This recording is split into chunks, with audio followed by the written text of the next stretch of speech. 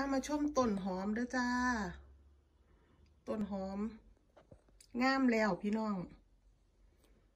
พ่อใส่ปนแล้วจ้า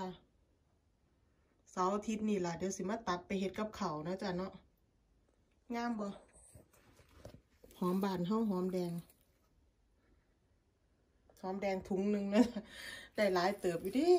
งามแล้วจ้างามแล้ว หอมแดง อมแดงเอามาปลูกบนสันสองนะจ๊ะสันสองของบ้านเนาะแดดบ่ค่อยมีช่วงนี้หิมะตกจ้ะหิมะตกได้ซ้ำนี่ล่ะซ้ำนี่ก็ดีใจแล้วงามเด้อพี่น้องพอได้ใส่ปนใส่ออมเนาะจ้ะเนาะ